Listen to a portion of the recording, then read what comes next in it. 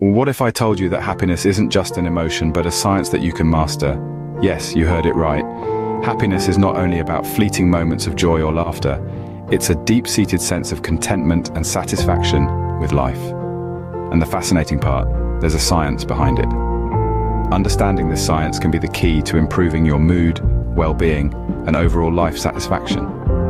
Today we delve into the science of happiness and uncover eight proven ways to boost your mood and well-being. And the first strategy to boost your happiness is cultivating gratitude. Now, what do we mean by gratitude? It's about recognizing and appreciating the good things in your life, no matter how small. This simple attitude adjustment can have a profound impact on your overall happiness levels. You see, gratitude works wonders because it shifts our focus from what we lack to the abundance that's already present. It's a celebration of the goodness in our lives and helps us connect with something larger than ourselves. Whether it's nature, people or higher powers, gratitude helps us feel more positive emotions, relish good experiences, and build strong relationships. Scientific studies have shown that people who practice gratitude regularly exhibit higher levels of happiness and satisfaction. They tend to be more optimistic, less materialistic, and have a greater sense of life purpose. So remember, the first step to a happier life is to appreciate what you already have. The second method to increase your happiness is fostering strong relationships. A sense of connection and belonging is a fundamental human need, deeply rooted in our evolutionary history. But it's not just about having a lot of friends. It's about having deep, meaningful relationships with people who understand and appreciate you, and whom you understand and appreciate in return. These relationships built on mutual respect, love and support serve as a safety net, helping us navigate life's ups and downs. They provide us with companionship, reduce feelings of loneliness, and contribute to our sense of self-worth. They can even impact our physical health, with research showing that strong social connections can lead to a 50% increased chance of longevity. Moreover, these relationships don't just make us feel good in the moment.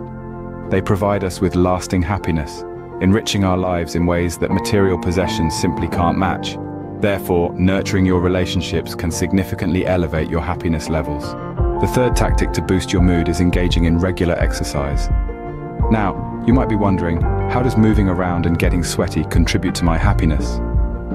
Well, it all comes down to the science of our bodies. When we exercise, our body releases chemicals called endorphins. Often referred to as the feel-good hormones, endorphins interact with the receptors in our brain reducing our perception of pain and delivering a positive feeling, similar to that of morphine.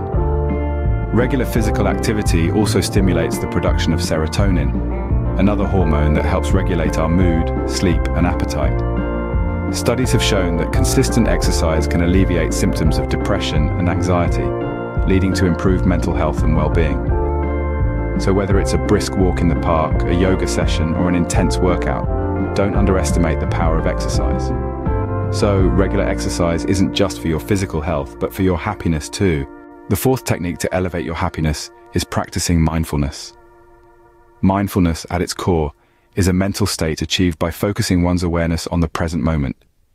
It's about letting go of the past and future and immersing yourself fully in the now, relishing the sights, sounds, and sensations around you. This act of being present has been scientifically linked to elevated levels of happiness.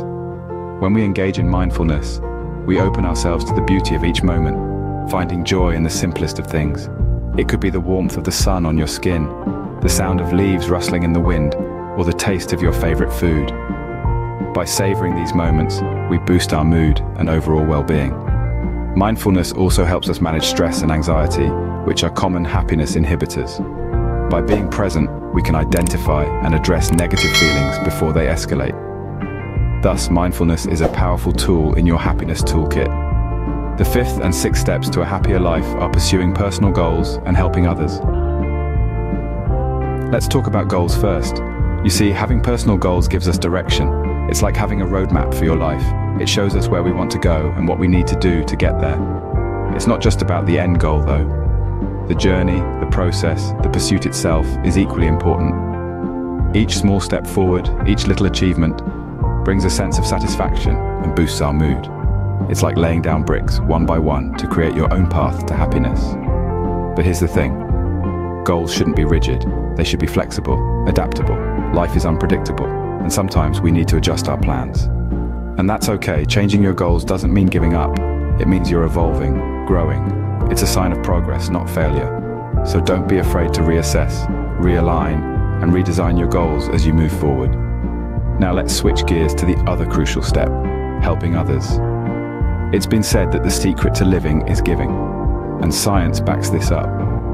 Helping others, whether it's through volunteering, mentoring, or simply lending a listening ear, not only benefits those we help, but also enhances our own happiness.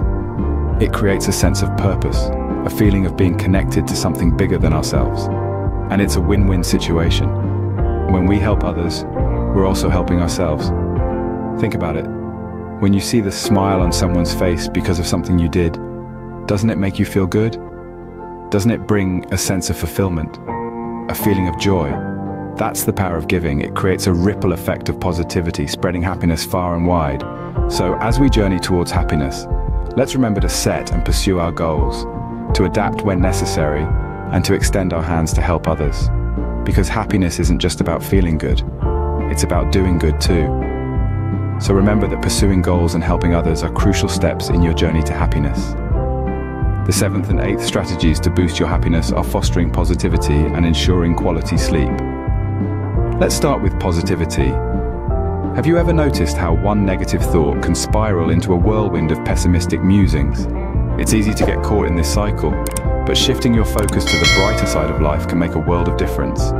This is where the practice of positive thinking comes in. It's all about consciously choosing to focus on the good, even when things aren't going perfectly. When you cultivate a positive mindset, you're not just putting on rose-colored glasses, you're training your brain to see opportunities instead of obstacles, solutions instead of problems. This doesn't mean ignoring the negative, but rather acknowledging it and choosing to find the silver lining. It's a mindset that promotes resilience, reduces stress, and yes, boosts happiness. Now, let's talk about sleep. We've all experienced the grumpiness that comes with a night of poor sleep. But did you know that chronic sleep deprivation can lead to long-term mood disorders like depression and anxiety? Sleep is when your brain gets to rest and reset. It's like a nightly tune-up for your mental health. When you get quality sleep, you're more likely to wake up feeling refreshed, alert, and ready to tackle the day with a positive attitude. So how can we improve our sleep?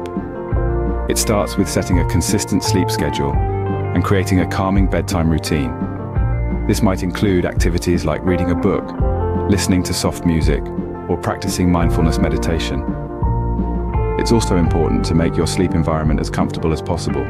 Think cool, dark, and quiet. Lastly, try to limit your intake of caffeine and avoid screens close to bedtime as these can interfere with your body's natural sleep-wake cycle. In essence, fostering positivity is about embracing the good in life, while quality sleep is about giving your brain the rest it needs to function optimally.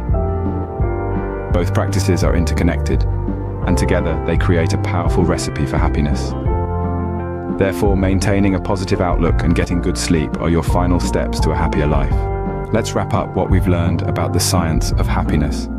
We've journeyed through the avenues of gratitude, the strength of relationships, the vitality of exercise, the grounding influence of mindfulness, the fulfillment of pursuing goals and helping others, the power of positivity, and the restorative magic of a good night's sleep. Each of these strategies is a key piece in the intricate puzzle of happiness. They're not merely suggestions or good habits, but scientifically proven ways to boost your mood and overall well-being. They are the tools we can use to build our happiness from the ground up, every single day. Cultivating gratitude allows us to appreciate the small things. Fostering strong relationships fills our lives with love and companionship. Regular exercise keeps our bodies healthy and our minds clear.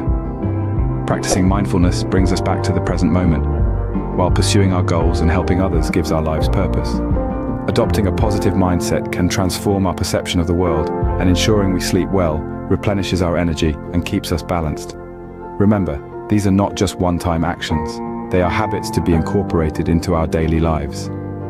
The science of happiness isn't a one-size-fits-all solution, but a lifelong journey of discovery and growth. Remember, happiness isn't just a feeling, it's a science. And with these eight strategies, you're well on your way to mastering it.